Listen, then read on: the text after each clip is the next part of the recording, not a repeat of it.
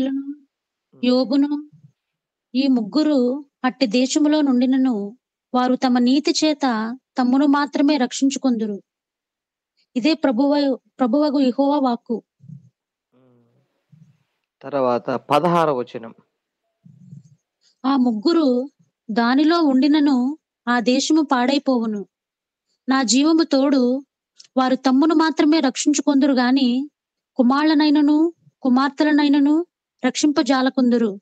ఇదే ప్రభువగు ఇహోవా వాక్కు. కాబట్టి ఒక వ్యక్తి దేవుని ఎదుట నిర్దోషమైన వ్యక్తిగా జీవించటం అనేది చాలా కష్టమైన పని. దేవుడు మనల్ని చూసినప్పుడు ఒక్క నింద గాని లోపము గాని లేకుండా ఉండే జీవితం దేవుని దృష్టిలో చాలా విలువైనది. అందుకే ఎంత దినాల్లో మనము కూడా దేవుని ఎదురు నిర్దోషమైన వ్యక్తులుగా ఉండాలని ప్రభువు ఆశిస్తున్నాడు. దాని గురించి గత కొన్ని వారాలుగా మనం ధ్యానిస్తున్నాం. ఓకే? మొదటిగా ఒక వ్యక్తి దేవుని ఎదుట నిర్దోషమైన వ్యక్తిగా ఉండాలంటే ఏం చేయకూడదు? ఎవరిని బాధ పెట్టకూడదు. ఎవరిని కూడా బాధ పెట్టకూడదు. నిజమే. దేవుని బిడ్డలమైన మనము అవసరమై ఇతరుల నిమిత్తం మనం బాధపడవచ్చు కానీ మన ద్వారా ఎవ్వరు కూడా బాధపడకూడదు. మన ద్వారా ఎవ్వరు కూడా బాధను అనుభవించకూడదు. ఏబు గారు అంటారు ఏబు గ్రంథంలో మీరు బాధకు కర్తలు కానీ ఆదరణకు కర్తలు మనము ఆదరణకు కర్తలుగా ఉండాలి. బాధకు కర్తలు కా ఉండకూడదు. కాబట్టి ఎప్పుడైతే మన జీవితమును ఇతరులను బాధ పెట్టకుండా ఈ లోకములో బ్రతుకుతామో ప్రభు మనల్ని చూసి సంతోషిస్తాడు. ప్రభు మనల్ని చూసి ఆనందిస్తాడు. కానీ ఈరోజు మనము ఇంకా ఈ లోకమును యేసు ప్రభువుని తెలుసుకున్నప్పటికీ ఇతరులను బాధ పెడుతూ జీవిస్తాం. అపోస్తులైన పౌలు గారు మరి ప్రభువును గుర్తెరక ముందు అందరినీ బాధ పెట్టాడు. కానీ ప్రభువుని తెలుసుకున్న తర్వాత ఎవరిని బాధ పెట్టకుండా ఏం చేశాడు? దేవుని కోసం మనుషుల కోసం తను బాధను అనుభవించాడు. ఓకే? కాబట్టి గత కొన్ని వారాలుగా మనం అది చూస్తున్నాం. ఎవరిని బాధ పెట్టకూడదు. రెండవదిగా ఎందుకు బాధ పెట్టకూడదంటే వారందరూ కూడా ఎవరంటే ఎవరు? దేవుని పోలికలో సృష్టించబడినటువంటి మనుషులు. వారు దేవుని బిడ్డలై ఉన్నారు కాబట్టి దేవుని బిడ్డలను ఎవరు కూడా బాధ పెట్టకూడదు. ఓకే? దేవుడు అంటారు కదా సౌలా సౌలా నీవెందుకు నన్ను హింసించుచున్నావు? వాస్తవానికి దేవుని హింసించలేదు. దేవుని బిడ్డల్ని హింసించాడు. అలా కదా? అలానే పరిశుద్ధ గ్రంథములు చూసినట్లే దేవుడు అన్నాడు మిమ్మును ముట్టువాడు నా కనుగుడ్డును ముట్టినట్లు. కాబట్టి మనము పోరాడవలసింది మనుషులతో కాదు కానీ ఆకాశమందున్న దురాత్మల సమూహముతో మనము పోరాడాలి. తర్వాత దేవుడు చెప్పే మాట ఏంటంటే ఎవరిని కూడా మీరు బాధ పెట్టకూడదు. ఎందుకంటే దేవుని పోలికగా పుట్టిన వారిని ఎప్పటి కూడా మనం బాధ పెట్టకూడదు. ఎందుకంటే దేవుడు వారికి తండ్రి అయి ఉన్నాడు. తన బిడ్డలను బాధ పెడితే దేవుడు చూస్తూ ఊరుకోడు. ఒకటి రెండు మాటలు చెప్పి ఈరోజు రెండో పాయింట్కి వెళ్దాం. గుర్తుపెట్టుకోండి ఇన్ని రోజులు దేవుడు ఇదే వాక్యాన్ని ధ్యా అంటే మన గుర్తు చేస్తుందంటే ఇంకా మనము ఎవరినో బాధ పెడుతున్నాం ఎప్పుడైతే మన జీవితంలో మనుషులను బాధ పెట్టడం మానేస్తామో గుర్తుపెట్టుకోండి అప్పుడే మన జీవితంలో ఒక గొప్ప మార్పు అనేది కలుగుతుంది. మనము మనుషులను మనము ఇతరులను బాధ పెట్టినంత కాలము దేవుడు మనల్ని బట్టి ఎన్నటికీ సంతోషించడు ఓకే ఈరోజు ఒక మాట చెప్పి నేను మరొక రెండో పాయింట్కి వెళ్ళాను ఎందుకు మనుషులను మనము బాధ పెట్టకూడదంటే నెంబర్ వన్ వారు దేవుని బిడ్డలు. దేవుని పోలికగా దేవుని స్వరూపమందు సృష్టించబడిన వారు. కాబట్టి దేవుని బిడ్డలను మనం బాధ పెట్టకూడదు. రెండవది ఎందుకు మనం బాధ పెట్టకూడదంటే మనం ఎవరినైనా బాధ పెట్టామనుకో దేవుడు కూడా మనలను బాధ పెడతాడు అది బైబిల్ సెలవిస్తుంది నీవు ఏమి విత్తుతావో దాన్ని నీవు కొయ్యాలి.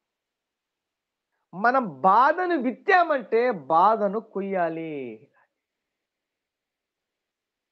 మన ఇతరులు బాధ పెట్టామంటే ఖచ్చితంగా ఒకరోజు మనం కూడా బాధపరచబడతాము బాధించబడతాము. పరిశుద్ధ గ్రంథములు కొంతమందిని చూస్తే వారు బాధ పెట్టారు బాధను అధికముగా అనుభవించారు. మనం బాధ పెట్టేది కొంచెమే కానీ మనము మనము బాధ పెట్టిన దానికంటే ఎక్కువ బాధపడవలసి వస్తుంది. పరిశుద్ధ గ్రంథములు చూస్తే హేబేలు కయ్యూను హేబేలును చాలా బాధ పెట్టాడు. బాధ పెట్టి ఏం చేశాడు తెలుసా? చంపేశాడు. అయితే బహుశా ఏబీలు ఒక్కరోజే బాధపడ్డాడు.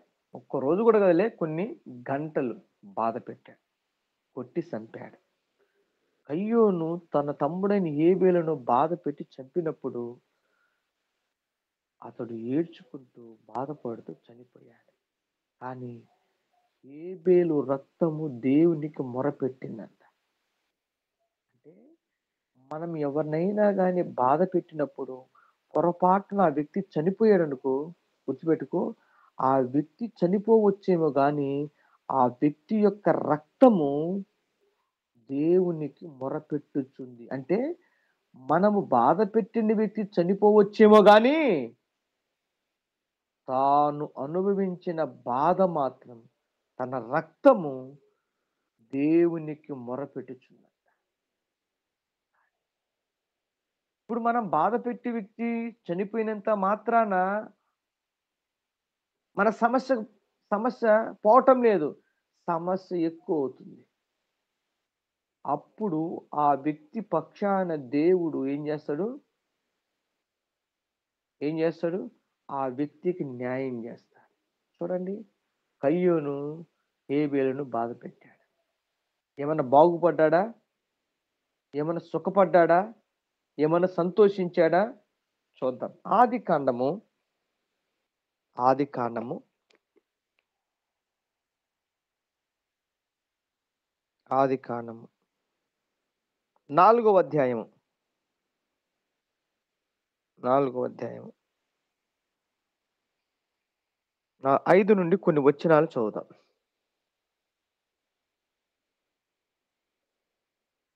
ఆది కాండము నాలుగో అధ్యాయం ఐదు నుండి కొన్ని వచ్చినాలు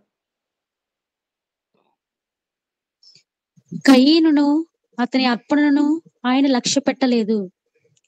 కాబట్టి కయ్యనుకు మిక్కిలి కోపము వచ్చి అతడు తన ముఖము చిన్నబుచ్చుకొనగా ఇహోవా కయ్యనుతో నీకు కోపమేలా?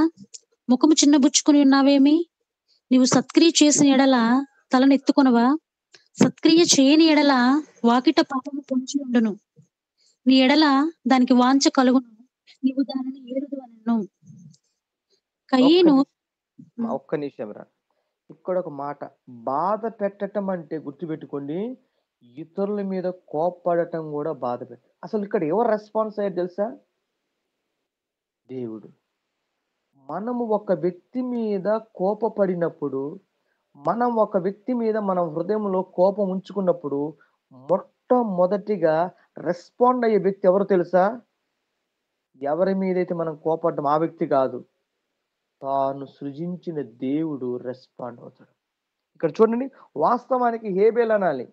ఎందుకన్నయ్యా నువ్వు నన్ను చూసి అంత అసూయపడతావు ఎందుకు నేనంటే నీ కోపం? నేనేమో నిన్ను అన్నానా? నేనేమో నిన్ను తిట్టానా? అనాలి.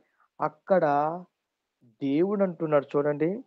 కాబట్టి కయ్యూని మిక్కిలి కోపం వచ్చి అతడు తన ముఖను చిన్నబుచ్చుకొనగా వెంటనే చూడండి. యహోవా కయ్యూనుతో నీకు కోపమేలా? అంటే మనము మనుషులను కొన్నిసార్లు కొట్టకపోవచ్చు తిట్టకపోవచ్చు. మన కోపము కూడా మనిషికి హాని చేస్తుంది. మన ఇతరుల మీద కోపము కోపము ఉంచుకున్నప్పుడు దేవుడు వెంటనే స్పందిస్తున్నాడు. అసలు ఇక్కడ చూడండి దేవుడు ఎంత తొందరగా స్పందించాడు. ఏమంటున్నాడు? కాబట్టి కయ్యను మిక్కిలి కోపం వచ్చి అతడు తన ముఖంను చిన్నబుచ్చుకొనగా దేవుడు ఏమంటు చూసా యహోవా కయ్యనుతో నీకు కోపమేలా నిజం ఈరోజు కొంతమంది ఈ రోజుల్లో చూస్తే జన ఇష్టల మీద చాలా కోపం కలిగి ఉంటారు. మనుషుల మీద ఎందుకు మనం కోపడకూడదు? దేవుడు అంటున్నాడు నీకెందుకు కోపం అసలుకి?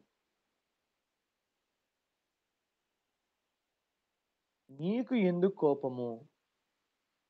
కోపముతో ఏమి సాధిస్తావు? బైబిల్ ఒక మాట ఉంది మానవుని కోపము దేవుని నీతిని నెరవేర్చదు. ఒకసారి వెనక్కి యాకోబు పత్రిక. నరుని కోపము గుర్తుపెట్టుకోండి దేవుని నీతిని నెరవేర్చదు. చదవండి ఒకసారి. యాకోబు పత్రిక. యాకోబు పత్రిక. మొదటి అధ్యాయము. మొదటి అధ్యాయము. ఇరవయో వచనం.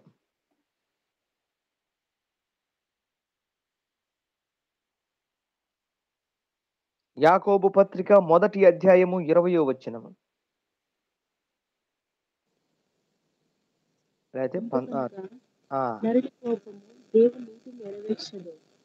అందుచేత సమస్త కల్మషమును విర్రవీగుచున్న దుష్టత్వమును మాని లోపల నాటబడి మీ ఆత్మలను రక్షించుటకు శక్తిగల వాక్యమును సాత్వికంతో అంగీకరించుడి.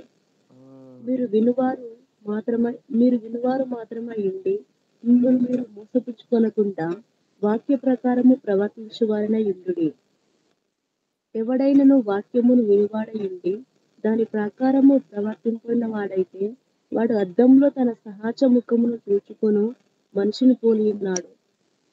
వాడు తను చూచుకొని అవతలికి పోయి తాను ఎట్టివాడు వెంటనే మర్చిపోను కదా చాలు. అంటే వాక్యం వినేవాడు కూడా కోపంతో వినకూడదు. సాత్వికముతో వినాలి.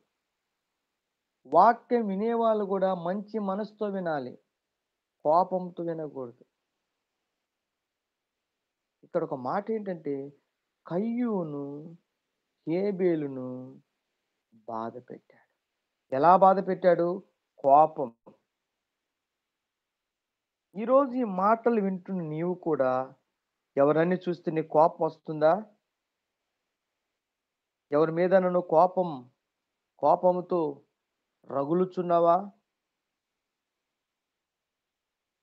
ఆలోచించండి. ఎందుకంటే నరుని కోపము దేవుని నీతిని నెరవేర్చదు. పంతొమ్మిది వచ్చిన చూస్తే నా ప్రియ సహోదరులారా మీ సంగతి ఎరుగుదురు. గనుక ప్రతి మనుష్యుడు వినుటకు వేగిరపడువాడును. మాటలాడుటకు నిదానించువాడును. కోపించుటకు నిదానించువాడునై ఉండవలెను నీ కోపం కంట్రోల్లో ఉందా? అవుట్ ఆఫ్ కంట్రోల్లో ఉందా? కోపం నిన్ను కంట్రోల్ చేస్తుందా? నీవు కోపాన్ని కంట్రోల్ చేస్తున్నావా? ఎందుకంటే నీలో నుండి వచ్చే కోపము ఎదుటి మనిషిని బాధిస్తుంది. ఎదుటి మనిషిని బాధ పెడుతుంది. ఎదుటి వ్యక్తిని గాయపరుస్తుంది. ఎదుటి వ్యక్తిని దుఃఖపరుస్తుంది. కాబట్టి మన కోపము దేనికి పనికిరాదు? మన కోపము దేనికి? పనికిరాడు. మోషే జీవితంలో మోషే తన జీవితంలో కానాను ప్రవేశించకపోవటానికి గల కారణం ఏంటో తెలుసా? బైబిల్ చెప్పే మాట అంటే మోషే భూమి మీద ఉన్న వారందరిలో మిక్కిలే సాత్వికుడు. మోషే లాంటి వాడు భూమి మీద లేడంట. ఓకే? కానీ ఒక నాకు తినానా కోపడ్డాడు పరిశుద్ధ గ్రంథంలో మోషే ఒక మూడు చోట్ల భయంకరంగా కోపడ్డాడు. ఒకటి ఇస్రాయేల్ను ఒకరోజు చంపినప్పుడు కోపం వచ్చి వాడిని ఏం చేసేసాడు? ఐగుప్తు దేశంలో ఒక్క దెబ్బ కొట్టిడ్చుకులో వచ్చేసాడు. తర్వాత మోషే ఇస్రాయేల్ ప్రజలు దాహం దాహం అని అడుగుతున్నప్పుడు ఏం చేశాడు తెలుసా? కోపం వచ్చేసి దేవుడు బండతో ఒకసారి మాట్లాడమంటే ఒకసారి కొట్టమంటాడు.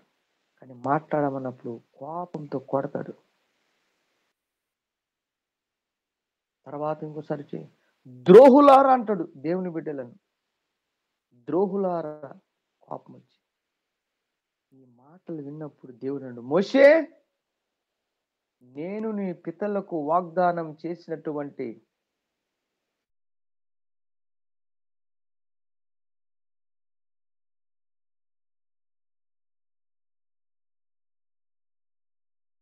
ఎందుకంటే మోషే ఇస్రాయల్ ప్రజల మీద కోపడ్డాడు మోషే ఇస్రాయల్ ప్రజలను చూసి ద్రోహులారా!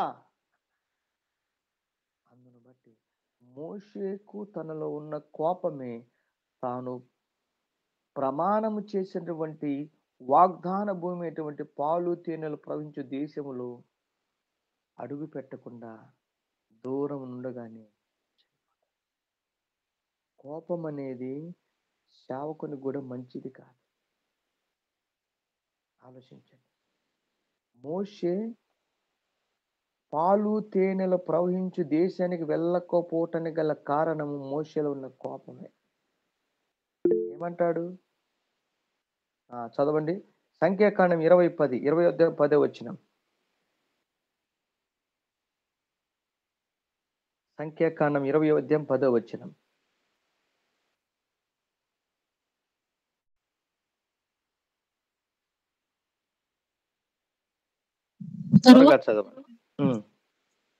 అహరోనులు ఆ బండ ఎదుట సమాజమును పోగు చేసినప్పుడు అతడు వారితో ద్రోహులారా వినుడి. మేము ఈ బండలో నుండి మీ కొరకు నీళ్ళు రప్పింపవలెనా? అనెను. అప్పుడు మోషే తన చేయి ఎత్తి రెండు మారులు తన కర్రతో ఆ బండను కొట్టగా నీళ్ళు సమృద్ధిగా ప్రవహించును. సమాజమును పశువులను త్రాగెను. అప్పుడు చదువుమా? అప్పుడు యెహోవా మోషే మోషే అహరోనులతో మీరు ఇశ్రాయేలుల కన్నుల ఎదుట నా పరిశుద్ధతను సన్మానించినట్లు నన్ను నమ్ముకొనక పోతిరి గనుక ఈ సమాజమును నేను వారికి ఇచ్చిన దేశములోనికి మీరు తోడుకొని పోరని చెప్పెను. ఆలోచించండి కాబట్టి కోపము చాలా ప్రమాదకరమైనది. కోపము చాలా ప్రమాదకరమైనది. చూద్దాం. ఆది కాండము నాలుగవ అధ్యాయం మనం చూద్దాం. ఓకే. ఓకే. ఎనిమిది నుంచి చూద్దాం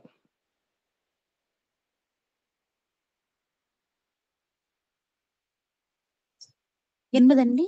ఎనిమిది నుంచి చదవండి. కయీను తన తమ్ముడైన హేబులతో మాటలాడెను. వారి పొలములో ఉన్నప్పుడు కయీను తన తమ్ముడైన హేబేలు మీద పడి అతనిని చంపెను. ఎహోవా నీ తమ్ముడైన ఏబేలు ఎక్కడున్నాడని కయ్యను అడుగుగా అతడు నేనెరుగను. నా తమ్మునికి నేను కావలవాడినా అనెను. అప్పుడు ఆయన నువ్వు చేసిన పని ఏమిటి? నీ తమ్ముడి రక్తం యొక్క స్వరము నేలలో నేలలో నుండి నాకు మొర్రపెట్టుచున్నది. కావున నీ తమ్ముడి రక్తమును నీ చేతుల నుండి పుచ్చుకొనుటకు నోరు తెరిచిన ఈ నేల మీద ఉండకుండా నీవు శపింపబడిన వాడువు. నీవు నేలను సేద్యపరిచినప్పుడు అది తన సారమును ఇక మీదట నీకు ఇయ్యదు. నీవు భూమి మీద దిగులు పడుచు దేశదిమ్మరవై ఇందువనను అందుకు కయ్యను నా దోష శిక్ష నేను భరింపలేనంత గొప్పది. నేడు ఈ ప్రదేశము నుండి నన్ను వెళ్ళగొట్టితివి. నీ సన్నిధికి రాకుండా వెలివేయబడి దిగులు పడుచు భూమి మీద దేశదిమ్మరనై ఉందును. కావున నన్ను కనుగొని వాడెవడో వాడు నన్ను చంపునని యహోవతో అనెను. అందుకు యహోవా ఇక్కడ చూసినట్లయితే ఒక్క కోపము ఏం చేసింది? కయ్యూను జీవితాన్ని సర్వనాశనం చేసింది. అంతేనా? కోపం. కోపము పాపములో నెట్టేస్తుంది పాపము మరణంలో నెట్టేస్తుంది. కయ్యూను జీవితం పతనము కావటానికి శాపగ్రస్తము కావటానికి ప్రధానమైన కారణము కోపము. కోప్పడే వ్యక్తి ఫస్ట్ కోపం వస్తుంది తర్వాత కోపం నిన్ను ఎక్కడ తీసుకెళ్తుంది? పాపం దగ్గర తీసుకెళ్తుంది. పాపం నిన్ను ఎక్కడ తీసుకెళ్తుంది? మరణం. కోపము పాపము మరణము. కాబట్టి పాపం చేయకుండా ఉండాలంటే కోప్పడకుండా ఉండాలి. కాబట్టి కయ్యూను ఏబేలి మీద కోప్పడ్డాడు బాధ పెట్టాడు చంపాడు. కాబట్టి ఏబేలు రక్తము దేవునికి మొరపెట్టింది దేవుడు వెంటనే స్పందించాడు. అయ్యో జీవితం అంతా కూడా ఎట్లయిపోయింది? శాపగ్రస్తమై దేశ దిమ్మరుడుగా జీవించాడు ఓకే రెండవ పరిశుద్ధ గ్రంథంలో రెండో చూస్తే ఫరో ఫరో కూడా ఇస్రాయేల్ ప్రజలను బహుగా బహుగా బాధ పెట్టాడు. ఆఖరి ఫరో జీవితం ఎలా ఉంది? మంచిగా ఉందా? అతను కూడా చాలా నష్టపోయాడు. కుమార్ని కోల్పోయాడు కదా? ఓ అబ్బా ఫరో జీవితం చూస్తే పది తెగుల చేత దేవుడు ఫరోని ఏం చేశాడు? బాధ పెట్టాడు. ఫరో ఇస్రాయేల్ ప్రజలను బాధ పెట్టినందుకు దేవుడు ఫరోను కూడా బాధ పెట్టి చంపాడు. ఇస్రాయేల్ ప్రజలు ఫరోను బాధ పెట్టలే. ఫరోనే బాధ పెట్టాడు. కానీ దేవుడు ఎవరిని బాధ పెట్టాడు? ఫరోను బాధ పెట్టాడు. మరణఘోష తెగుళ్ళు రోగాల బా అవి ఎంత ఘోరమో. కాబట్టి కయ్యూని జీవితం బాగలేదు. ఎందుకంటే తన తమ్ముడిని బాధ పెట్టాడు. రెండవదిగా ఫరో ఇస్రాయల్ ప్రజలను బాధ పెట్టాడు. తన జీవితం కూడా తెగులతోనే నెక్స్ట్ మూడో వ్యక్తి చూస్తే ఏసేపు యొక్క అన్నలు కూడా ఏసేపును బహు బాధ పెట్టారు పాప. తండ్రి నుండి దూరం చేశారు. ఓకే? ఐగుప్తుకి అమ్మబడ్డాడు కానీ అన్నలు ఏమన్నా తర్వాత చూస్తే వాళ్ళు చాలా నష్టం ఆఖరికి వాళ్ళని ఏసేపునకు దాసులుగా మారిపోయారు.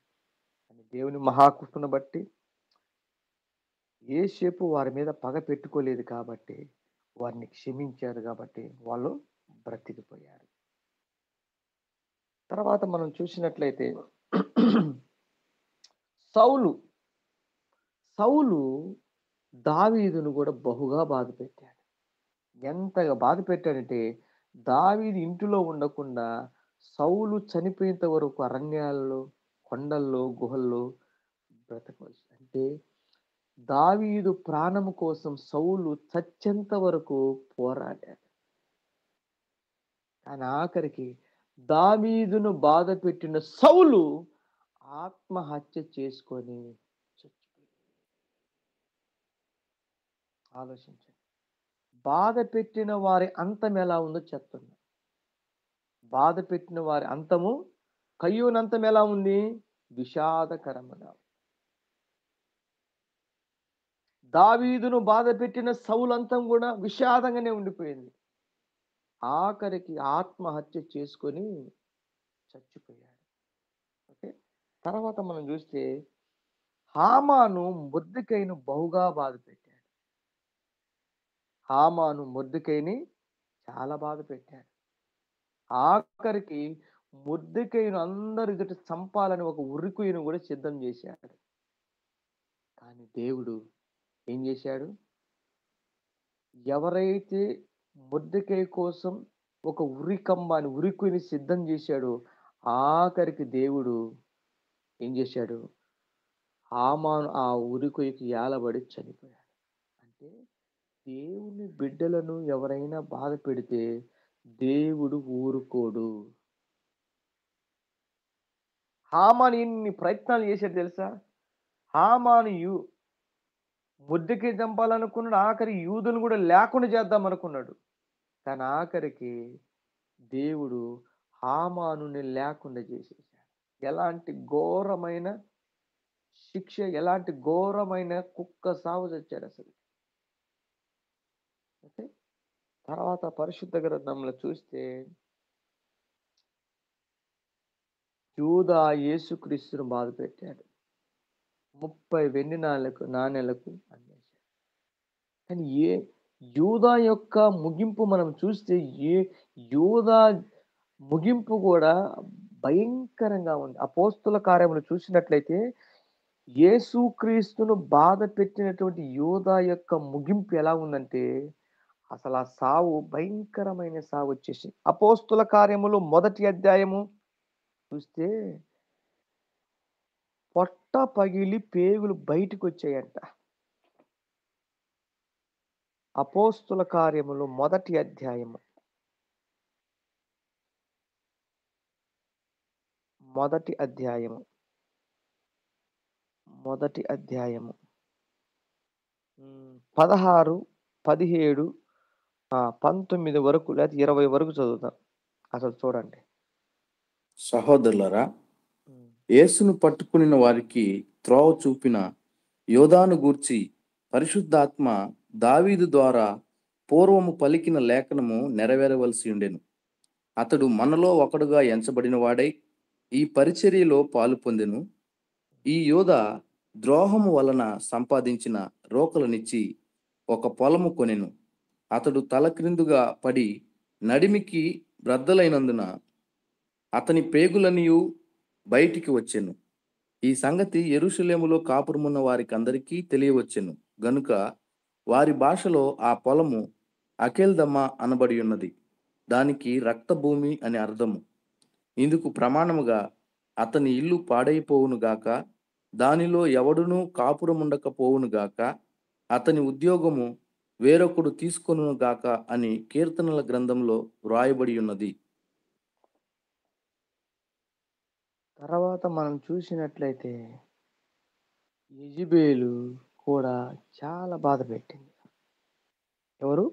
యజుబేలు స్త్రీ కాబట్టి యజుబేలు సావు కూడా ఆఖరికి ఎలా ఉందంటే ఎలా ఉందో తెలుసా? దేవుడు యజుబేలు యొక్క మరణం గురించి చూస్తే ఆమె మేడ నుంచి కింద పడింది. గుర్రముల చేత అప్పటికే చచ్చిపోయింది గుర్రముల చేత యజుబేలు తొక్కిస్తే యజుబేలుకున్నటువంటి ముఖం మీద ఉన్న చర్మం అంతా కూడా పోయిందంట. ఆఖరికి యజుబేలు గుర్తుపట్టడానికి కూడా లేదంట. ఈ మాటలు ఎందుకు చెప్తున్నానంటే మనం ఎవరిని బాధ పెట్టకుండా చూద్దాం ఒక్కసారి. పరిశుద్ధ గ్రంథంలో నుండి.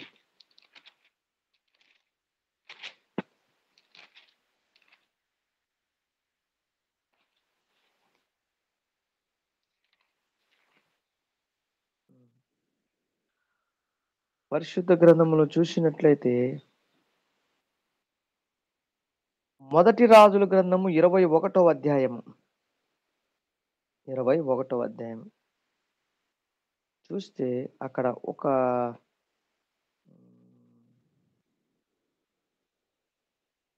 ఐదు వచనాల వరకు చదవండి.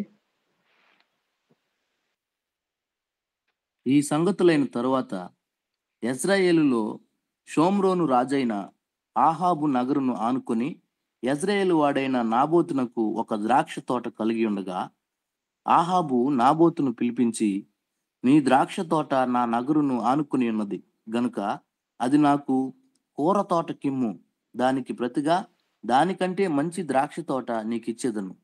లేదా నీకు అనుకూలమైన ఎడల దానిని క్రయమునకు ఇమ్మని అడిగాను.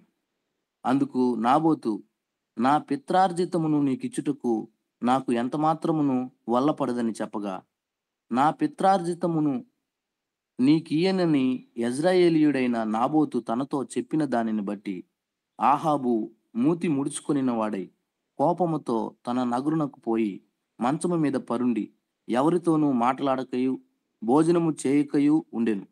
అంతటా అతని భార్య అయిన యజబేలు వచ్చి నీవు మూతి ముడుచుకుని వాడవై భోజనము చేయక ఉండదువేమి అని అతనిని అడుగుగా అతడు ఆమెతో ఇట్లా నేను నీ ద్రాక్ష తోటను క్రయమునకు నాకిమ్ము లేక నీ నీకు అనుకూలమైన ఎడల దానికి మారుగా మరి ఒక ద్రాక్ష తోట నీకు ఇచ్చిదనని యజ్రాయేలీయుడైన నాబోతుతో నేను చెప్పగా అతడు నాకు నా ద్రాక్ష తోట నీకియ్యను అనెను? ఈ ఎంత అంటే టైం సరిపోదు. ఇక్కడ అంతా ఆఖరికి ఏం చేస్తుంది? యజబేలు ఏం చేస్తుంది? నాబోతును చంపేస్తుంది. నాబోతు నిజంగా ఆ, ఎట్లా చనిపోతుంటే అసలు భయంకరంగా అసలు కుక్కలు వచ్చి అతని రక్తమును నాకుతుంది అనమాట అంత ఘోరంగా చంపేస్తుంది అంత ఘోరంగా బాధ పెడుతుంది కేవలం కేవలం అతడు నా స్థలము ఇవ్వనన్నందుకు యజుబేలు అతని మీద పగబట్టి భయంకరంగా బాధ పెట్టి చంపారు చూసినట్లయితే ఆ, చదువు పది నుండి పదహారు వరకు. నీవు దేవునిని రాజును దూషించితివని అతని మీద సాక్ష్యం పలుకుటకు పనికి మాలిన ఇద్దరు మనుషులను సిద్ధపరచుడి. తీర్పు అయిన మీదట అతని బయటకు తీసుకుని పోయి రాళ్ళతో చావగొట్టుడి. అతని పట్టణపు పెద్దలను పట్టణమందు నివసించు సామంతులను యజబేలు తమకు పంపిన తాకీదు ప్రకారము జరిగించిరి.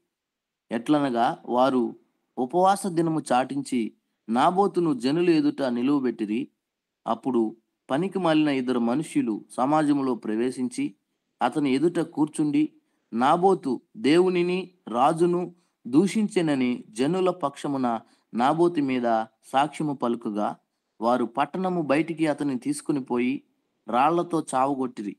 నాబోతు రాతి దెబ్బల చేత మరణమాయనని వారు యజుబేలునకు వర్తమానము పంపగా నాబోతు రాతి దెబ్బల చేత మరణమాయనని యజుబేలు విని నాబోతు సజీవుడు కాడు అతడు చనిపోయిను గనుక నీవు లేచి యజ్రాయేలీయుడైన నాబోతు క్రయమునకు ఇయ్యనొల్లకపోయిన అతని ద్రాక్ష తోటను స్వాధీనపరుచుకునమని ఆహాబుతో చెప్పెను. నాబోతు చనిపోయినని ఆహాబు విని లేచి యజ్రాయేలీయుడైన నాబోతు ద్రాక్ష తోటను స్వాధీనపరుచుకొనబోయెను. ఒక్క నిమిషం. చంపేసింది. బాధ పెట్టి చంపేసింది. అయితే వెంటనే మొట్టమొదటి ఎవరు స్పందించారో తెలుసా? పదిహేడు నుంచి చదవండి. పదిహేడు నుంచి ఇరవై వరకు. అప్పుడు యహోవా వాక్కు తిష్బీయుడైన ఏలియాకు ప్రత్యక్షమై ఇలాగు సెలవిచ్చెను. నీవు లేచి సోమ్రోనులోనున్న ఇజ్రాయేలీయుడైన ఆహాబును ఎదుర్కొనుటకు బయలుదేరుము. అతడు నాబోతి యొక్క ద్రాక్ష తోటలో ఉన్నాడు. అతడు దానిని స్వాధీనపరచుకోనబోయెను. నీవు అతని చూచి ఇలాగు ప్రకటించుము. యహోవా సెలవిచ్చున్నదేమనగా దీని స్వాధీనపరుచుకున్న వల్లని నీవు నాబోతును చంపితివి కదా యహోవా సెలవిచ్చున్నదేమనగా ఏ స్థలమందు కుక్కలు నాబోతు రక్తమును నాకెనో ఆ స్థలమందే కుక్కలు నీ రక్తమును నిజముగా నాకునని అతనితో చెప్పెను. అంతటా ఆహాబు ఏలియాను చూచి నా పగవాడా నీ చేతిలో నేను చిక్కబడితినా?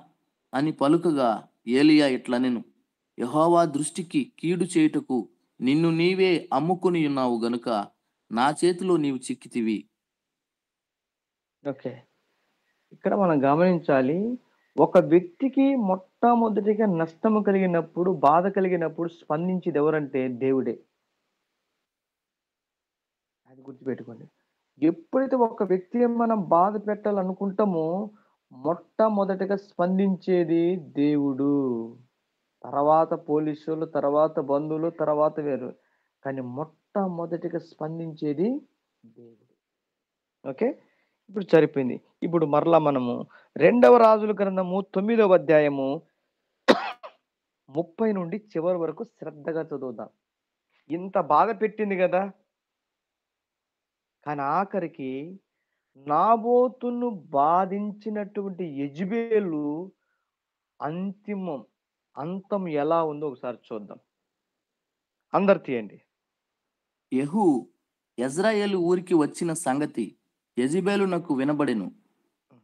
గనుక ఆమె తన ముఖమునకు రంగు పూసుకొని శిరోభూషణములు ధరించుకొని కిటికీలో నుండి కనిపెట్టి చూస్తుండగా యహూ గుమ్మము ద్వారా ప్రవేశించెను.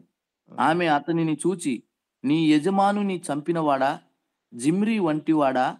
నీవు సమాధానముగా వచ్చుచున్నావా? అని అడుగగా అతడు తల ఎత్తి కిటికీ తట్టు చూచి నా పక్షమందున్న వారెవరు? అని అడుగగా ఇద్దరు ముగ్గురు పరిచారకులు పైనుండి తొంగిచూచిరి దీనిని క్రింద పడద్రోయుడని అతడు చెప్పగా వారు దానిని క్రిందికి పడద్రోసినందున దాని రక్తములో కొంత గోడ మీదను గుర్రముల మీదను చిందెను. మరియు గుర్రముల చేత అతడు దానిని త్రొక్కించెను. అతడు లోపల ప్రవేశించి అన్నపానములు చేసిన తర్వాత ఆ శాపగ్రస్తురాలు రాజకుమార్తె గనుక మీరు వెళ్ళి దానిని కనుగొని పాతి పెట్టుడని ఆజ్ఞ ఇయ్యగా వారు దానిని పాతిపెట్టబోయిరి అయితే దాని కపాలమును పాదములను అరచేతులను తప్ప మరి ఏమీ కనబడలేదు. వారు తిరిగి వచ్చి అతనితో ఆ సంగతి తెలియజెప్పగా అతడిట్లనెను ఇది యజుబేలని ఎవరునూ గుర్తుపట్టలేకుండా యజ్రాయేలు భూభాగమందు కుక్కలు యజబేలు మాంసమును తినును. యజబేలు యొక్క కళేబారమును ఎజ్రాయేలు భూభాగమందున్న పెంట వలె నుండును అని తన సేవకుడును తిష్బీయుడునగు ఏలియా ద్వారా యహోవా సెలవిచ్చిన మాట చొప్పున ఇది జరిగెను. కాబట్టి మనుషులను బాధ పెట్టడం ఎంత ప్రమాదమో మనం బైబిల్లో చూస్తున్నాం. అందుకే ఏ మనిషి జోలికి మనం వెళ్ళకూడదు. కానీ చాలాసార్లు మనము ఇలాంటి విషయాలు బైబిల్లో చదవము మనకి ఎక్కువ కూడా ఆశీర్వాదాల గురించి అభిషేకం గురించి వరాల గురించి వీటి గురించి ఎట్టబడతాం కానీ ఇలాంటి వాక్యాలు చాలాసార్లు మనం ఇష్టపడం. ఈరోజు జనాలు మంచి బోధలు వినటానికి ఇష్టపడుతున్నారు కానీ జీవితాన్ని మార్చే జీవితానికి విలువనిచ్చే బోధలు వినటం లేదు. చెప్పేవాళ్ళు కూడా చెప్పలేక ఎందుకంటే అలాంటి బోధ చేస్తే ఎవరు వినరు కదా. ఆఖరికి వాళ్ళ నరకంలో ఎండ్ అవుతుంది ఉదయకాల సమయంలో చదవన వాక్య భావం మీరు గుర్తు మీరు కానీ జాగ్రత్తగా వినిన వారు చూడండి బాధ పెట్టిన వారి యొక్క ముగింపు ఎలా ఉంది చెప్పండి? కయ్యను ముగింపు ఎలా ఉంది? భయంకరంగా ఉంది. నా దోష శిక్ష నేను భరించలేకపోతున్నానయ్యా. దేశ దిమ్మరుడైపోయాడంట. బాధించబడినటువంటి ఏబీలు ఒక్క రోజులోనే బాధ.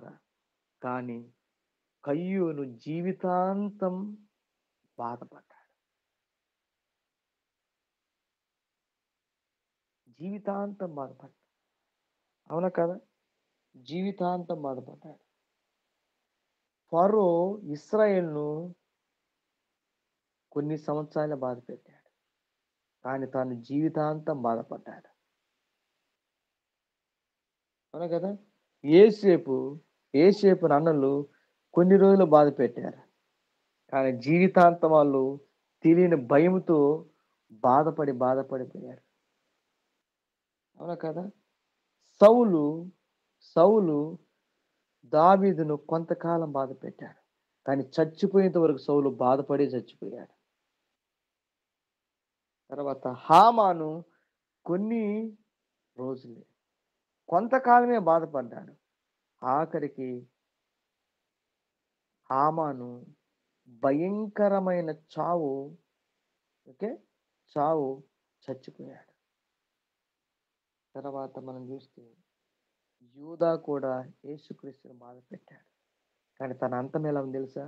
ఉరేసుకొని చచ్చిపోయి కింద పడితే అతని పొట్ట పగిలి పేగులు బయటకు వచ్చాయంట.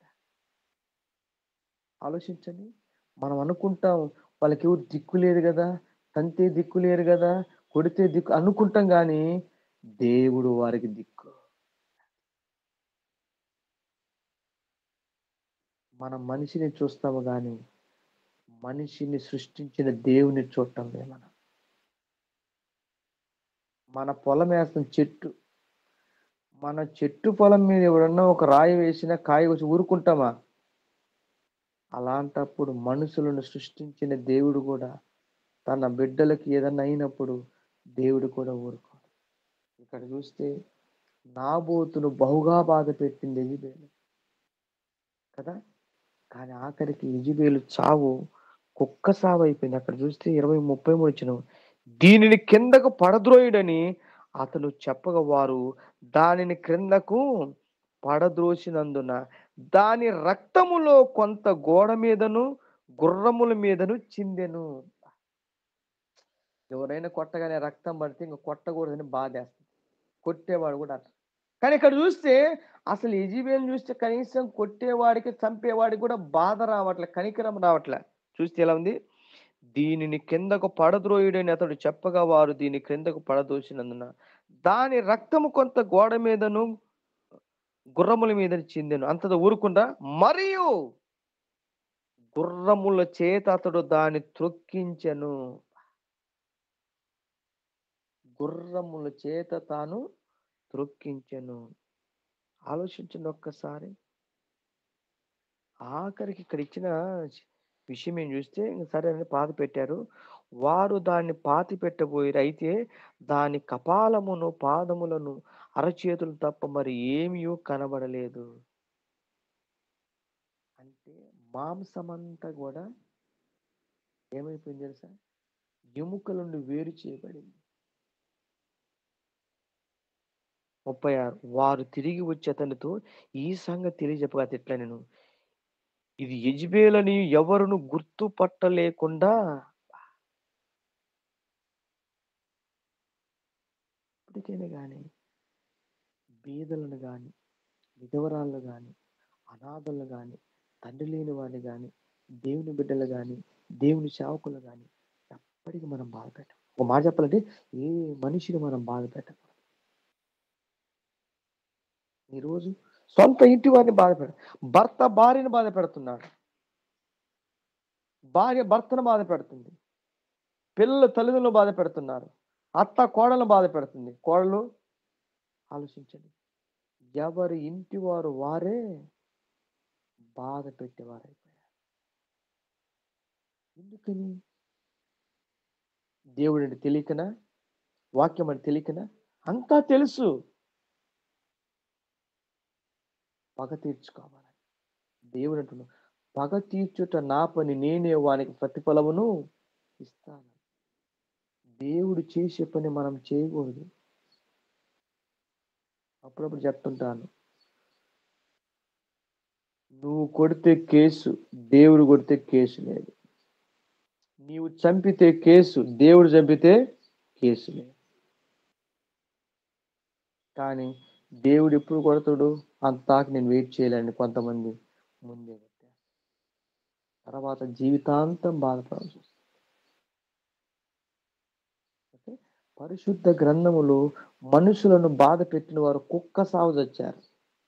ఘోరమైన సాగు చచ్చారు. ఈ మాటలు వింటానే పొద్దున బాగలేదు కానీ మన మంచి కోసమే. ఈరోజు ఎందుకు తెలుసా? ఒకళ్ళంటే ఒకళ్ళు పట్టం లేదు. కోపంతో మన కోపాలు లోపల పెట్టుకొని జీవిస్తూ ఉన్నాం. అసూయను లోపల పెట్టుకొని జీవిస్తున్నాం. అందుకే మనం సంతోషించలేకపోతున్నాం ఆనందించలేకపోతున్నాం. దేవుని ఎదుట ఇది దోషిగా మనం జీవిస్తున్నాం. అందుకని ఇవన్నీ వీటన్ని విషయాలు మనము దేవుని ఎదుట నిర్దోషంగా ఉన్నప్పుడే మనం ప్రశాంతతను సంతోషమును సమాధానమును ఓకే మనము అనుభవిస్తాం. కాబట్టి దయచేసి జ్ఞాపకం ఉంచుకోండి. ఈ రోజు నుండి ఎవరిని బాధ పెట్టకూడదని తీర్మానం చేసుకోండి. బైబిల్ ఒక భయంకరమైన మాట మీరు చదివారు లేదు కానీ ఇతరులు క్షమించకపోవటం కూడా ఘోరమైన పాపం. ఇతరులను కోపట్టం ఎంత పాపమో ఇతరులు క్షమించకపోవటం ఇంకా ఘోరమైన పాపం. అందుకు దేవుడిచ్చే గొప్ప శిక్ష ఏంటో తెలుసా? ఇతరులను క్షమించకపోతే దేవుడంట వారిని దయ్యాలకు అప్పచెప్తాడంట ఈరోజు నీ జీవితంలో ఇంకా ఎవరినైనా క్షమించకుండా ఉంటున్నావంటే నువ్వు ఆ వ్యక్తిని బాధ పెడతావు కాబట్టి ఈరోజు భూమి మీద ఉన్న ప్రతి ఒక్క వ్యక్తిని క్షమించాలి. నీ మనసులో ఎవ్వరు నీకు శత్రులు ఉండకూడదు. దేవుడంట ఇతరులను క్షమించని వారినంట దేవుడు దయ్యాలకు అప్పచెప్తాడంట ఎందుకు తెలుసా? నువ్వు క్షమించటం లేదు కాబట్టి నీ వల్ల ఇతరులు బాధపడ బాధపడుతున్నారు. బాధను అనుభవిస్తున్నారు. అందుకని దయ్యాలకు అప్పచెప్తారంట దయ్యాలు చేంజ్ చేస్తాయి? ఆ వ్యక్తిని బాధిస్తూ పరిశుద్ధ గ్రంథంలో నుండి మత్తేసు వార్త పద్దెనిమిదవ అధ్యాయము. ఈరోజు అనుకోవచ్చు పాస్టర్ గారు నేను ఎవరిని కొట్టడం లేదండి? కరెక్టే. ఎవరిని తిట్టడం లేదండి? కరెక్టే. ఎవరిని దూషించడం కరెక్టే. కానీ నువ్వు క్షమించటం లే భర్తనే క్షమించలేకపోతున్నావు. భార్యను క్షమించలేకపోతున్నావు పిల్లలను క్షమించలేకపోతున్నావు బంధువులను క్షమించలేకపోతున్నావు. ఇది బాధ కాదా? ఇది బాధించటం కాదా? నీవు నీ భార్యతో మాట్లాడకుండా నీ పని నువ్వు చేసుకొని ఉంటే నీవు తెలియకుండానే నీ భార్యను బాధ పెడుతున్నా నీ భర్త డ్యూటీకి వెళ్ళొచ్చి ఇంటికి రాగానే నీ భర్త నువ్వు సరిగ్గా చూసుకోవటం లేదు. నువ్వు మాట్లాడుకుంటూ అలిగి రెండు మూడు రోజులకు అన్నం తినకుండా ఉంటే నీ భర్తను బాధ పెట్టేట్టే కాదు. అలిగినప్పుడు ఎదుటి వ్యక్తికి మనం ఏం చేస్తున్నాం వాళ్ళు బాధ పెడుతున్నాం అంతే. భర్త అలిగినా భార్య బాధపడుతుంది భార్య అలిగినా భర్త బాధపడుతుంది పిల్లలు అలిగినా తల్లిదండ్రులు తల్లిదండ్రులు అలిగినా అంటే మనము చాలాసార్లు ఏదో పెద్ద హాని అనుకుంటున్నా కానీ మనము అలగటం కూడా ఒక వ్యక్తిని బాధ పెట్టినట్టే. నువ్వు ఒక వ్యక్తితో భార్యతో నువ్వు మాట్లాడుకుని ఒకటి రెండు రోజులు ఉండు. నీ భార్య ఎంతగా ఏడుస్తుందో తెలుసా? నీ ముందే ఆడకపోవచ్చు కానీ అంత పడుకున్నప్పుడు ఏడ్చి ఏడ్చి ఆ తల మీద కూడా తరిచిపోతుంది అందుకే దేవుడు అంటున్నా మతేసు వార్త పద్దెనిమిదవ అధ్యాయం మతేసు వార్త పద్దెనిమిదవ అధ్యాయం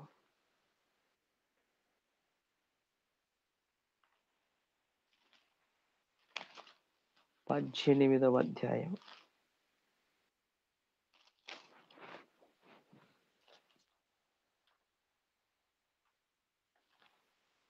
ఓకే. ఇరవై ఒకటి నుంచి చదువుదాం ఆ సమయమున పేతురు ఆయన యొద్దకు వచ్చి ప్రభువా నా సహోదరుడు నా ఎడల తప్పిదము చేసిన ఎడల నేనెన్ని మారులు అతన్ని క్షమింపవలెను? ఏడు మారులు మట్టుకా? అని అడిగాను. అందుకు యేసు అతనితో ఇట్లనెను ఏడు మారులు మట్టుకే కాదు డెబ్బది ఏళ్ళ మారుల మట్టుకని నీతో చెప్పుచున్నాను. కావున పరలోక రాజ్యము తన దాసుల యొద్ద లెక్క చూచుకొనగోరిన ఒక రాజును పోలినది అతడు లెక్క చూచుకొన మొదలు పెట్టినప్పుడు అతనికి పదివేల తలాంతులు అచ్చియున్న ఉన్న ఒకడు అతని యొద్దకు తేబడెను. అప్పు తీర్చుటకు వాని యొద్ద ఏమీ లేనందున వాని యజమానుడు వానిని వాని భార్యను పిల్లలను వానికి కలిగినది యావత్తును అమ్మి అప్పు తీర్చవలనని ఆజ్ఞాపించెను. కాబట్టి ఆ దాసుడు అతని ఎదుట సాగిలపడి మ్రొక్కి నా ఎడల ఓర్చుకొనుము నీకు అంతయు చెల్లింతునని చెప్పగా ఆ దాసుని యజమానుడు కనికరపడి వానిని విడిచిపెట్టి వాని అప్పు క్షమించెను. అయితే ఆ దాసుడు బయటకు వెళ్ళి తనకు నూరు దేనారములు అచ్చియున్న తన తోడి దాసులలో ఒకనిని చూచి వాని గొంతు పట్టుకొని నీవు అచ్చియున్నది చెల్లింపుము అనెను. అందుకు వాని తోడి దాసుడు సాగిలపడి నా ఎడల ఓర్చుకునుము నీకు చెల్లించదనని వానిని వేడుకొనెను. గాని వాడు ఒప్పుకొనక అచ్చి ఉన్నది చెల్లించు వరకు వానిని చెరసాలలో వేయించెను. కాగా వాని తోడి దాసులు జరిగినది చూచి మిక్కిలి దుఃఖపడి వచ్చి జరిగినదంతయు తమ యజమానునికి వివరముగా తెలిపిరి. అప్పుడు వాని యజమానుడు వానిని పిలిపించి చెడ్డదాసుడా నీవు నన్ను వేడుకొంటివి గనుక నీ అప్పంతయు క్షమించి తిని నేను నిన్ను క్షమించిన ప్రకారము నీవును నీ తోడి దాసుని కరుణింపవలసి ఉండెను గదా అని వానితో చెప్పెను. అందుచేత వాని యజమానుడు కోపపడి తనకు అచ్చియున్నదంతయు చెల్లించు వరకు బాధపరుచు వారికి వానిని అప్పగించాను. మీలో ప్రతివాడును ఓకే ఇక్కడ ఒక మాట చూస్తే అండర్లైన్ చేసుకోండి ఈ మాట. ముప్పై నాలుగు వచ్చిన అందుచేత వాని యజమానుడు కోపపడి తనకు అచ్చియున్నదంతయు చెల్లించు వరకు బాధపరచు వారికి వాని అప్పగించను. బాధపరచు వారంటే ఎవరు? దెయ్యాలు. ఎవరైనా ఒక ఒక ఒక వ్యక్తి ఒకసారి చెప్పినప్పుడు వినకపోతే ఒకటి రెండు సార్లు చెప్పాలి. తర్వాత దేవుడు చెప్తున్నాడు అతని సాతానికి అప్పజెప్పుము. గుర్తుపెట్టుకోండి. ఎవరినైనా మనం క్షమించకపోతే దేవుడు అనే మాట ఏంటంటే మీరు మనుషుల అపరాధములను క్షమించిన ఎలా మీ పరలోకపు తండ్రి మీ యొక్క అపరాధములను క్షమించును. మీరు మనుషుల అపరాధములను క్షమించకపోయిన ఎడల మీ తండ్రియు మీ అపరాధములను క్షమించడు క్షమించడు. తర్వాత ఏం చేస్తంట మనం ఇతరులను క్షమించలేదు కాబట్టి దేవుడు కూడా మన తప్పులను క్షమించడు. రెండవది మనలను సాతానుకు అప్పచెప్తాడట ఇక్కడదే మాట ఉంది. అందుచేత వాని యజమానుడు కోపపడి తనకు అచ్చినదంతయు చెల్లించు వరకు అంటే నీవు ఎవరినైతే క్షమించకుండా ఉన్నావో ఆ వ్యక్తిని నువ్వు క్షమించేంత వరకు దేవుడు నిన్ను దయ్యములకు అప్పచెప్తాడు కాబట్టి దెయ్యాలు మనల్ని బాధించకుండా ఉండాలంటే ఇతరులను క్షమించాలి. నువ్వు ఎంత కాలమైతే ఒక వ్యక్తిని క్షమించకుండా నీ మనసులో కోపమును ద్వేషము నస్సుని పెట్టుకుంటావో గుర్తుపెట్టుకో అంతకాలము దేవుడు నిన్ను దయ్యముల చేతికి అప్పజెప్పి అప్పుడు దయ్యాలు ఏం చేస్తా ఆ వ్యక్తిని?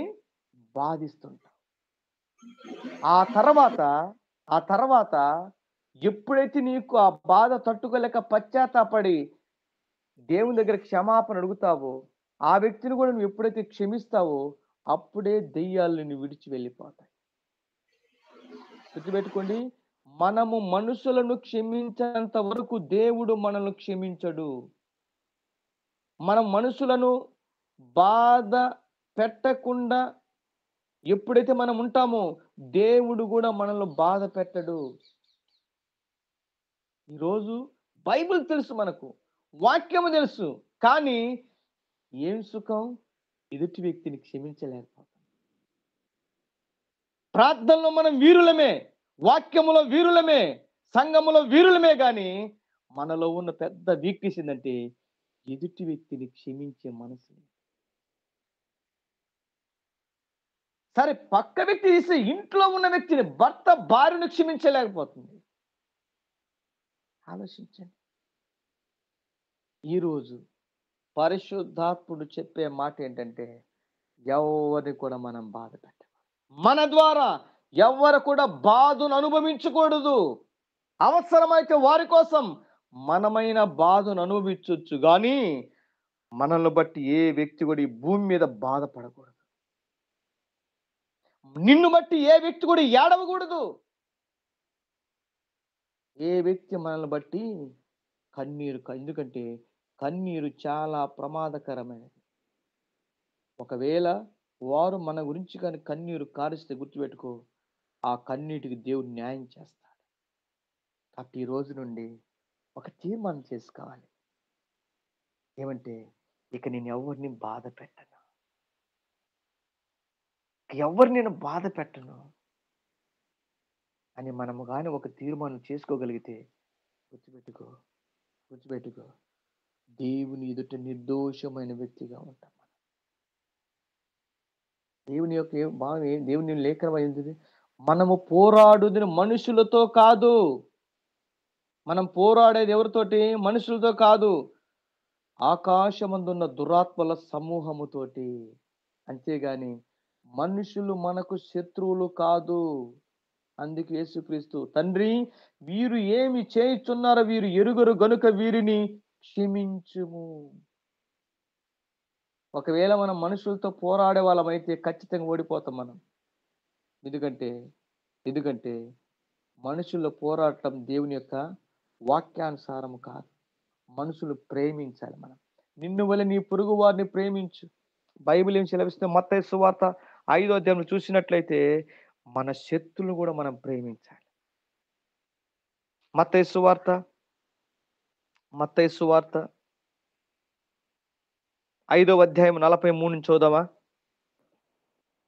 మత్తయి సువార్త ఐదవ అధ్యాయం నలభై మూడు నుంచి చూద్దాం. నీ పొరుగువాని ప్రేమించి నీ శత్రువును ద్వేషించుమని చెప్పబడిన మాట మీరు విన్నారు కదా నేను మీతో చెప్పున్నదేమనగా మీరు పరలోకమందున్న మీ తండ్రికి కుమారులై ఉండునట్లు మీ శత్రువులను ప్రేమించుడి మిమ్మను హింసించు వారి కొరకు ప్రార్థన చేయుడి. చూశారా? కాబట్టి ఇప్పుడు మనము ఎవరిని బాధ పెట్టకూడదు. మనం శత్రుల కోసం ఏం చేయాలి? ఒకటి ఒకటి ప్రేమించాలి. రెండవదిగా వాళ్ళకు మంచి చేయాలి. మూడవదిగా వాళ్ళు ఒకళ్ళు చెప్పిస్తే మనం దీవించాలి. నాలుగవదిగా ఒకవేళ వాళ్ళు మనల్ని బాధ పెడుతుంటే వాళ్ళ కోసం ప్రార్థించాలి మనుషుల కోసం ఈ నాలుగు మనం చేయగలిగితే దేవుని ఎదుట నిర్దోషులుగా ఉంటాం. గుర్తుపెట్టుకోండి నాలుగు విషయాలు చెప్తాను నంబర్ వన్ మనుషులకు మనం ఏం చేయాలి? అంటే ప్రేమించేవారు కావచ్చు ద్వేషించేవారు కావచ్చు ఏమిటి శత్రులకు కూడా. నంబర్ వన్ ప్రేమించాలి. బైబిల్ సెలవిస్తుంది ఎవడైనను నేను దేవుణ్ణి ప్రేమిస్తున్నానని చెప్పి తన సహోదరుని ద్వేషించినలా అతడు అబద్ధికుడు. తాను చూసిన తన దేవుని ప్రేమింపని వాడు తాను చూడని దేవుణ్ణి. చదవండి. మొదటి యోహాను పత్రిక నాలుగవ అధ్యాయం ఇరవై వచ్చినం మొదటి యోహాను నాలుగవ అధ్యాయము ఇరవై వచ్చినం ఎవడైనను నేను దేవుని ప్రేమించుచున్నానని చెప్పి తన సహోదరుని ద్వేషించిన ఎడల అతడు అబద్ధికుడగును. తాను చూచిన తన సహోదరుని ప్రేమింపని వాడు తాను చూడని దేవుని ప్రేమింపలేడు. చూసారా నంబర్ వన్ మనుషులందరినీ మనం ప్రేమించాలి. అందులో మంచోళ్ళు ఉన్నారు చెడ్డోళ్ళు ఉన్నారు. మనం చేయవలసిందంటే ప్రేమించడం మనం మనుషులను ప్రేమించలేకపోతున్నామంటే బలహీనత వాళ్ళు లేదు మనలో ఉంది బలహీనత. మన మనుషులు ప్రేమించలేకపోతున్నామంటే లోపం వారిలో లేదు మనలో ఉన్నది. రెండవది ఏం చేయాలి మనము? ప్రజలకు మంచి చేయాలి. ఒకటి ప్రేమించాలి. నచ్చినా నచ్చకపోయినా ఇష్టమున్నా ఇష్టం లేకపోయినా ప్రేమించాలి. ఎందుకంటే ప్రేమ దోషములన్నిటినీ కప్పును. ప్రేమ దోషములన్నిటినీ ఏం చేస్తుంది? కప్పేస్తుంది. ప్రేమకున్న గుణం అది. చదవండి మొదటి మొదటి కొరిందులకు రాసిన పత్రిక పదమూడవ అధ్యాయం.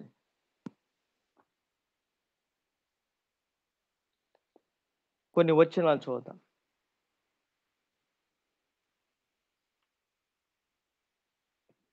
పదమూడవ అధ్యాయము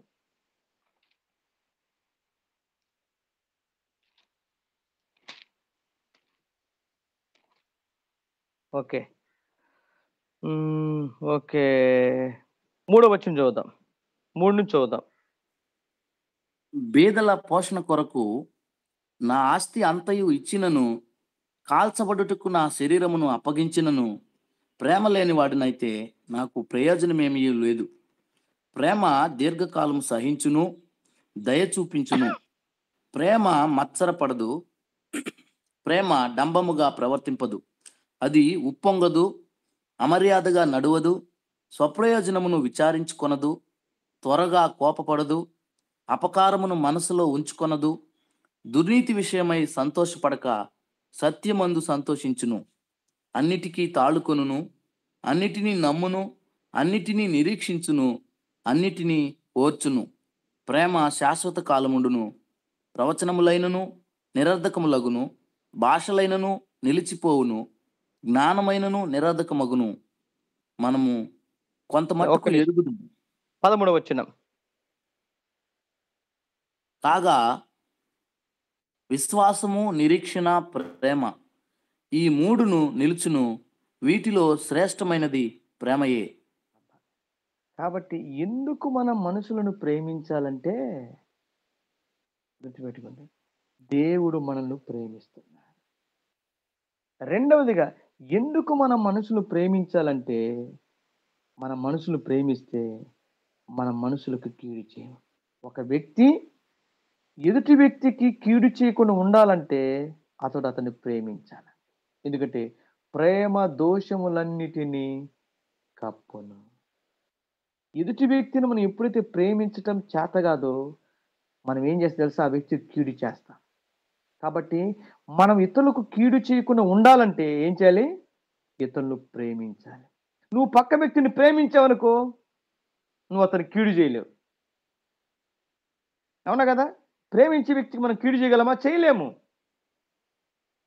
నీకు మాస్ అంటే ఒక మాట చెప్పాలంటే కీడు చేయకుండా ఉండటానికి ప్రేమ ఒక్కటే ప్రేమించటమే సరైనటువంటి మార్గము. ఓకే.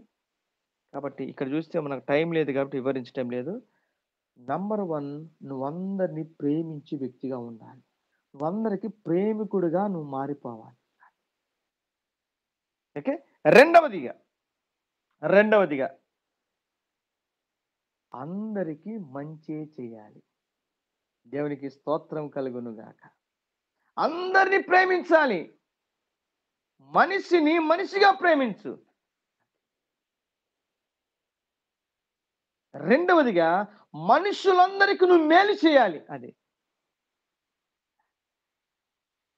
ఏం చేయాలి? మేలు చేయాలి. బైబిల్ ఉంది కీడు చేయటం మాని మేలు చేయ నేర్చుకునుడి. మేలే చేయాలి.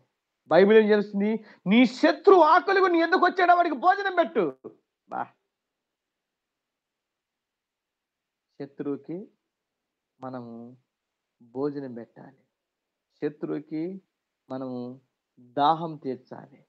శత్రువుకి మనము అంటే మేలే చేయాలి. మేలు చేయాలి. ఆఖరికి శత్రువుకు గుర్తుపెట్టుకోండి. కీడనేది చేయాలన్న తలంపు కూడా మన మనసులోనికి రాకూడదు.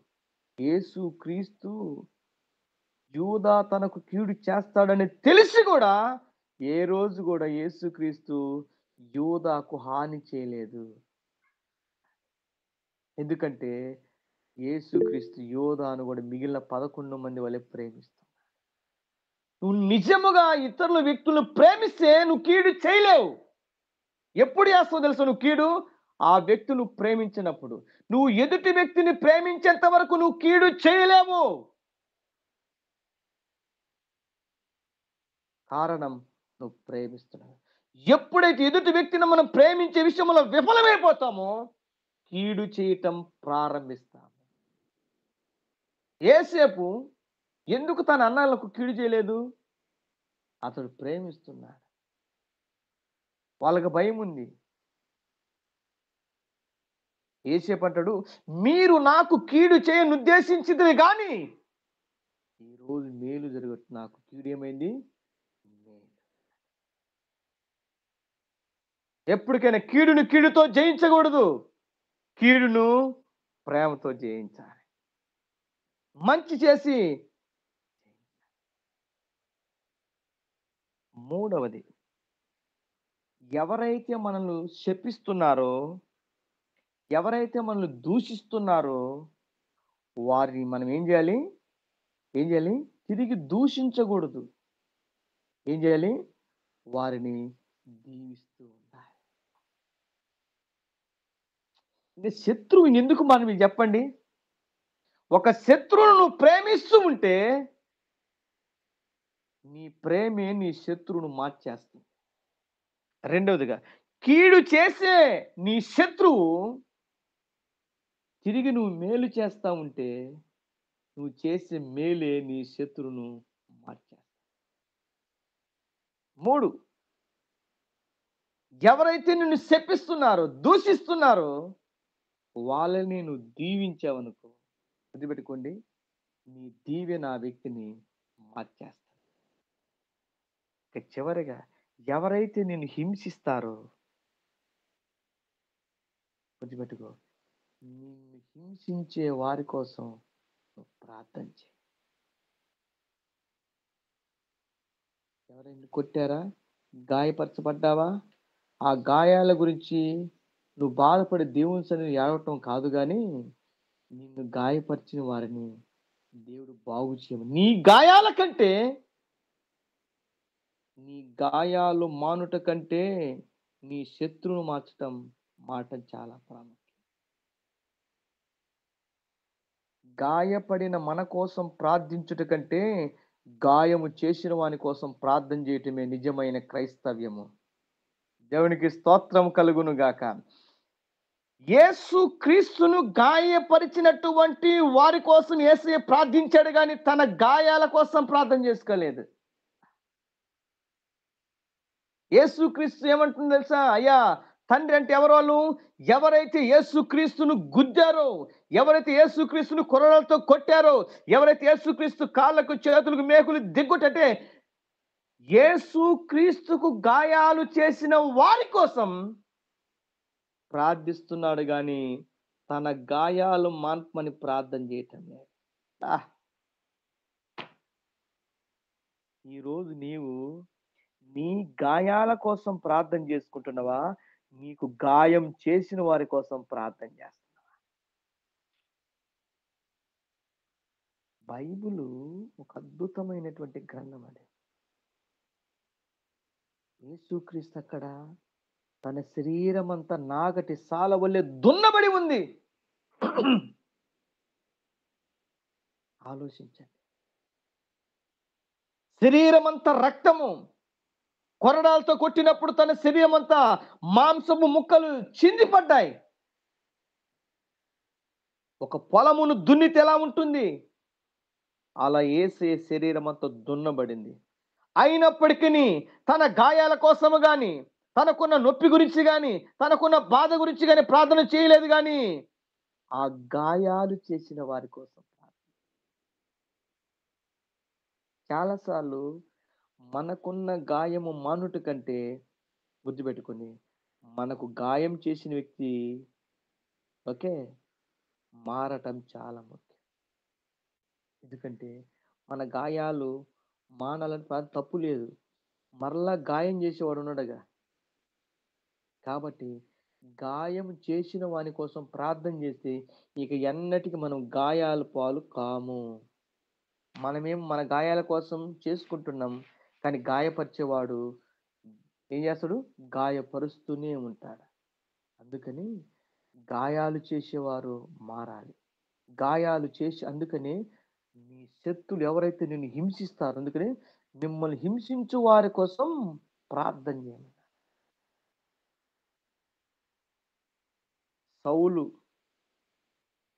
పౌలుగా మారకముందు క్రైస్తవులను చిత్రహింసలు చేసి గాయపరుస్తున్నాడు. ఆఖరికి ఒక కామెడీ చెప్తుంది దగ్గర దగ్గర మూడు వేల కేసులు ఉన్నాయంట సౌలు మీద. కానీ ఆ దినాలలో క్రైస్తవులు ఏమని చేసే తెలుసా? తమ గాయాల కోసం ప్రార్థన చేయలేదు కానీ తమకు గాయాలు చేస్తున్నటువంటి సౌలు కోసం ప్రార్థన చేస్తే ఏం జరిగింది తెలుసా? దమస్కు మార్గంలో వచ్చుచుండగా దేవుడు దర్శించాడు. ఒకవేళ కేవలం వాళ్ళ గాయాల కోసం ప్రార్థన చేసి ఉంటే గాయాలు చేసేవాడు ఇంకను మరలా మరలా గాయాలు చేసేవాడు.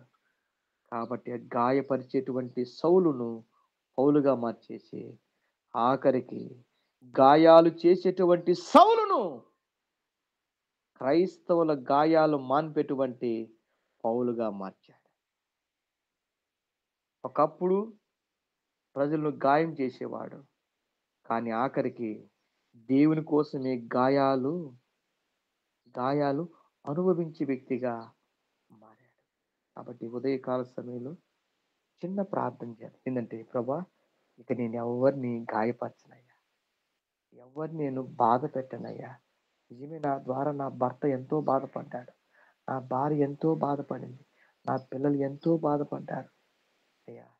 దయచేసి ఇక ఎన్నటికి నైనా నేను ఇతరులు గాయాలు చేసే వ్యక్తిగా నేను ఉండనయ్యా. ఇక నుండి ప్రభా ప్రజల గాయాలు ప్రజల యొక్క గాయాలు కట్టే వ్యక్తిగా నేను ఉంటాను ప్రభా. ఇప్పటి వరకు మాటల చేత గాయాలు క్షమించకపోవటం వల్ల గాయాలు కోపం చేత గాయాలు అసూయ చేత గాయాలు గర్వపు మాటల చేత గాయాలు చేశానయ్యా. నా ద్వారా ఎంతో మంది గాయపరచబడ్డారయ్యా. నా ద్వారా ఎంతో మంది నాయన మరి గాయాలు పాలయ్యారయ్యా. ఇక నువ్వు నేను ఎవరిని బాధ పెట్టను. ఎవరు నేను గాయపరచను ఆయన దయచేసి నన్ను క్షమించు. నేను కూడా ఇదే నాన్న. నా మనస్ఫూర్తిగా నా శత్రువులందరినీ నేను క్షమిస్తున్నాను ప్రభా. నా శత్రువులను నేను మనసారా క్షమిస్తున్నాను ప్రభాని నేను నీవు నిజముగా యథార్థముగా ఈ ప్రార్థన చేయగలిగితే గుర్తుపెట్టుకో. గుర్తుపెట్టుకో. దేవుడు నిన్ను దేవుడు నిన్ను ఇతరుల యొక్క గాయాలు మాన్పేటువంటి వ్యక్తిగా నేను మార్చేస్తాను ఇప్పటి వరకు మనుషులు బాధ పెట్టే వ్యక్తిగా నువ్వు ఉన్నావేమో అయితే ఇక నుండి దేవుడు వారి బాధలను విడిపించే వ్యక్తిగా వాళ్ళను ఆదరించే వ్యక్తిగా దేవుడు మార్చుటకు ఆయన మరి సమర్థుడై ఉన్నాడు. కాబట్టి ఒక్క నిమిషం చిన్న ప్రార్థన చేద్దాం. ఈరోజు ఒకటి ఎవరిని బాధ పెట్ట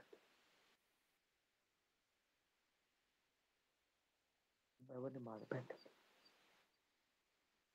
బాధ పెట్టే వారి కోసం మనం చేయవలసినటువంటి నాలుగు పనులు. నంబర్ వన్ బాధ పెట్టే వారిని ప్రేమించటం ప్రారంభించు. ఎవరైతే నువ్వు బాధ పెడుతున్నారో ఈ నువ్వు వాళ్ళని ప్రేమించటం ప్రారంభం ఎందుకంటే కీడును కీడుతో జయించకూడదు. కీడును మేలుతో జయించాలి. ఏం చేయాలి? బాధ పెట్టి ఎవరైతే నువ్వు బాధ పెడుతున్నారో ఈ రోజు నువ్వు ప్రేమించటం ప్రారంభించు. బాధపట్టే బాధ పెట్టేవాడు నీ ప్రేమను బట్టి వాడు బాధ పెట్టకుండా మానిపోతాడు. దానికి ఒకే ఒక ఔషధం ప్రేమ అంతే. రెండు బాధ పెట్టే వారి కొరకును ప్రార్థన చేయి. చావాలని ప్రార్థన చేయదు నాశనం కావాలని ప్రార్థన చేయదు ఆ వ్యక్తి మారాలని ప్రార్థన ఎవరైతే నిన్ను బాధ పెడుతున్నారో గుర్తుపెట్టుకు ఈ రోజు నుండి వాళ్ళ పేర్లు రాసుకొని ఏం చేయాలి? వాళ్ళ కోసం రోజు ప్రార్థన చేయి. వాళ్ళ కోసం నువ్వు మంచి చేయి వాళ్ళకి అవకాశం ఏదైనా మంచి నువ్వు మంచి చేయాలి. నిన్ను బాధ పెట్టే వాళ్ళకి నువ్వు మంచి చేయాలి. మూడవదిగా ఎవరైతే నిన్ను బాధ పెట్టి శపిస్తున్నారో ఈ రోజు నుండి వాళ్ళని దీవిస్తా ఉండు దీవిస్తా ఉండు దీవిస్తా ఉండు. నాలుగవదిగా వాళ్ళ కోసం నువ్వు ప్రార్థన చేస్తా. ఈ నాలుగు నువ్వు చేయగలిగితే ఇక నువ్వు ఎవరిని బాధ పెట్టలేవు. ఒకటి బాధ పెట్టేవారిని ప్రేమించు. రెండు బాధ పెట్టే వారికి మేలు చేయి. మూడు బాధ పెట్టే వారిని ఆశీర్వదించు. నాలుగు బాధ పెట్టేవారి కొరకు నువ్వు ప్రార్థన అప్పుడు నీ శత్రువులందరూ నీకు స్నేహితులుగా మారిపోతారు. అప్పుడు దేవుడు ఏం చేస్తుంటే నీ శత్రువు ఎదుట నీకు దేవుడు భోజనమును సిద్ధపరుస్తాడు. ఈ నాలుగు మనము చేయనంత వరకు దేవుడు కూడా ఓకే? ప్రార్థన చేసుకుందాం. అందరం కూడా తలలో చిన్న ప్రార్థన చేసుకుందాం. దయచేసి చేతులు జోడించేస్తున్నాను. ఎవరిని బాధ పెట్టదు ఎవరిని కూడా మనసులో కూడా బాధ బాధ పెట్టదు ఎప్పుడైతే ముందు మనం మారుతామో మన శత్రువు కూడా మారిపోతాడు మనము మారనంత వరకు మన శత్రువు కూడా మారడు. మనము మారనంత వరకు దేవుడు మన శత్రువు కూడా మార్చడు. ఎప్పుడైతే మనం మారుతామో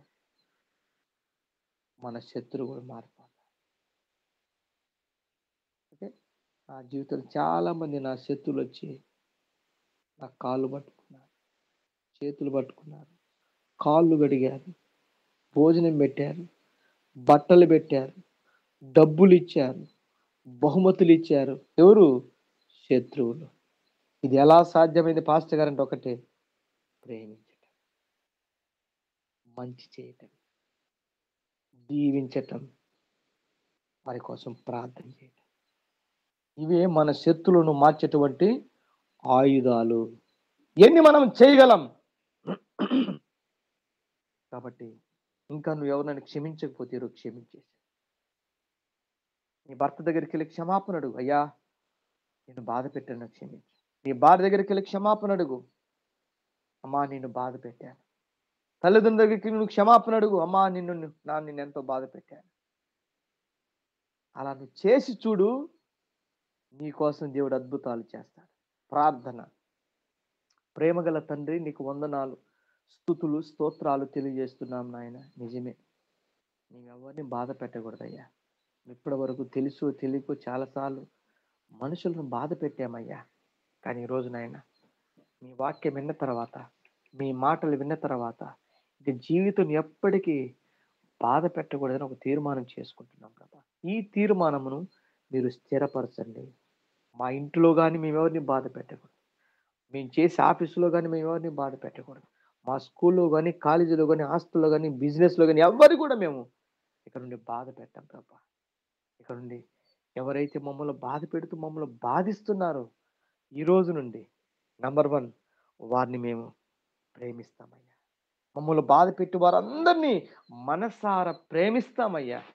నీవు కూడా నిన్ను బాధ పెట్టి వారిని ప్రేమించావయ్యా. రెండవదిగా ఎవరెవరైతే మమ్మల్ని బాధ పెడుతున్నారో ఎవరైతే మా కీడు చేస్తున్నారో వాళ్ళందరికీ ఇప్పుడు మేము మేలు చేస్తామయ్యా మూడవదిగా నాయన ఇప్పుడైతే ఇప్పుడు దాకా ఎవరైతే మమ్మల్ని చెప్పిస్తున్నారో మా మీద దూషణ మాట పలుకుతున్నారో ఈ రోజు నుండి వారి మనసారా దీవిస్తున్నామయ్యా. మనసారా ఆశీర్వాదిస్తున్నామయ్యా. అయ్యా ఇప్పటి వరకు ఎవరైతే మమ్మల్ని హింసిస్తున్నారో వారందరి కోసం ఈ రోజు నుండి వారి కోసం ప్రార్థన చేస్తామయ్యా.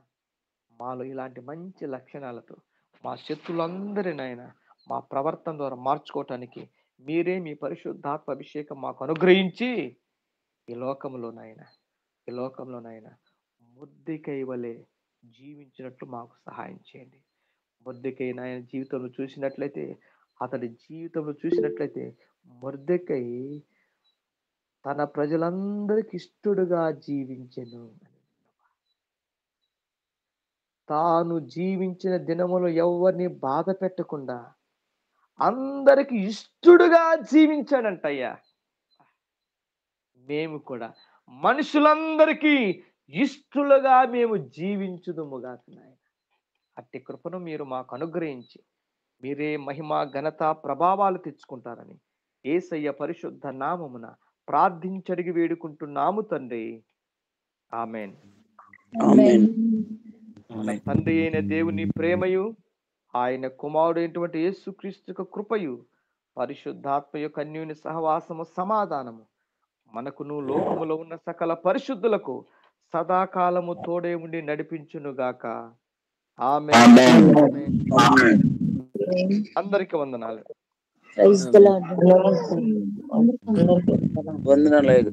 అమ్మ వందనాలు వందనాలు. ప్రైజ్ అమ్మ అయ్యా ప్రైజ్ లా ప్రైజ్ లా.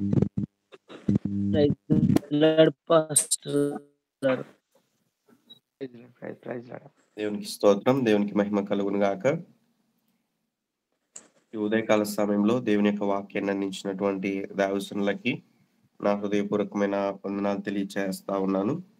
మనము ఈ యొక్క సన్నిధిలో దేవుని ఎదుట నిర్దోషిగా జీవించాలంటే ఎలా ఉండాలి అన్న టాపిక్లో భాగంగా ఇప్పటి వరకు మనము ఐదు సెషన్స్ ద్వారా మనం ముందుకు వెళ్ళి ఉంటున్న ఒకే అంశం పైన దైవసులు పది విషయాలు మనకు మాట్లాడతారని తెలియజేశారు అందులో భాగంగా మొదటి విషయము ఎవరిని కూడా బాధ పెట్టకూడదు అన్న విషయాన్ని మనం నేర్చుకుంటూ వచ్చాం.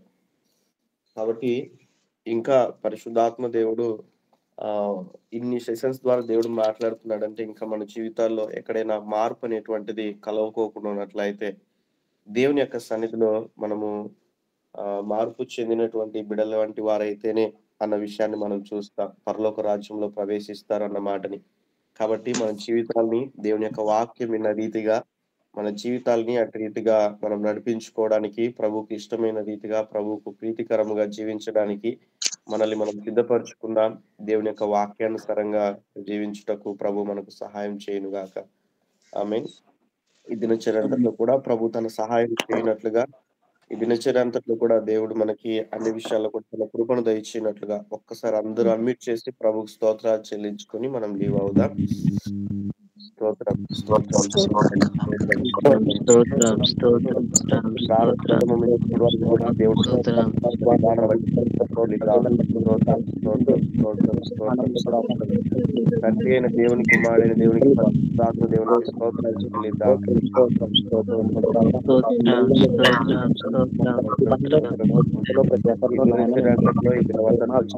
ఉద్యోగాలు వ్యాపారములు చదువులు అన్ని విషయాల్లో దేవుడు సహాయం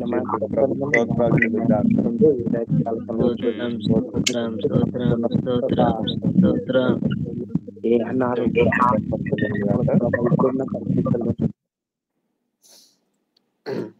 దేవునికి మహిమ కలుగును గాక.